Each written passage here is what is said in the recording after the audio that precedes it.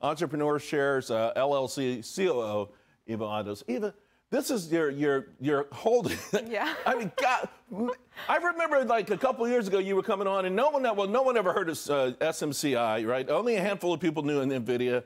And these names have gone up tremendously. I think we got a typo here. I think we're missing a number because you've had this for about five years. Uh, this be NVIDIA zero, we've had maybe, right? for over 10 years. 10 years. SMCI, five years. And SMC is our biggest holding across all our funds right now. This is your largest holding. Yep. So what happens when you have a stock like this and it goes up 20% a day? I mean, at some point, right?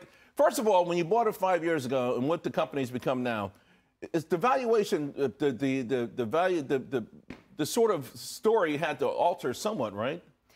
Or did it finally live up, to what you thought it would live up to? It did. Actually, it exceeded our expectations. So the importance between those two is that they move together. So they have a very close relationship. Like NVIDIA is up 1,900% over the last five years. SMCI is up 4,700% over the last uh, uh, five years. So what happens is they have a close relationship. SMCI provides high-level servers to NVIDIA and other companies. So when NVIDIA grows, that amplifies the Right. growth of SMCI, Right. and th- that's the result we're seeing. Now, I've, I've been in this stock many times in the past, right? Uh, one of the reasons I like this because this guy, this CEO is like best friends with this CEO too. Just, just you know, that's just to sort of put it in perspective. ANET, um, we're in this stock as well, Pa- Palantir. Uh, so, do you see these sort of names with the sort of runway that these names have had over the last five, ten years?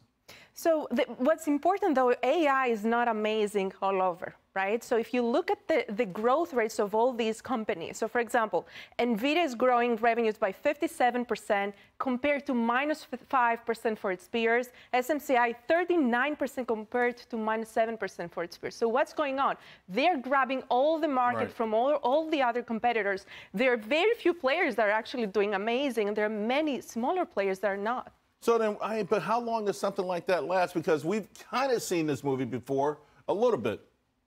So people are comparing it to the dot-com era, right? So, but we're not there, right? We this time here we have revenues, we have revenue growth, we have margin expansion. It's a very different market, but it's a stock pickers market. You have to be very careful Right. which companies you you select. All right, so this is uh, the, the allocation of your fund. The last time I saw it, of course, uh, a big chunk of it, 52% infotech, uh, 8% communication services. A lot of people merge those in when they talk about tech. So uh, I was intrigued by healthcare because this is becoming a larger part of your portfolio. Again, you're looking at specific names. When I think healthcare 2024, I'm thinking Eli Lilly, right? I mean, to your point, it sort of distinguishes itself from the crowd. Are there other opportunities? Uh, Definitely, because both um, communication services, IT, healthcare, all these are sectors that underperformed in the last year, uh, more in the last couple of years, because interest rates were coming up, right? So Right. now we have the reverse. So the corollary stands to us. Interest rates start coming down.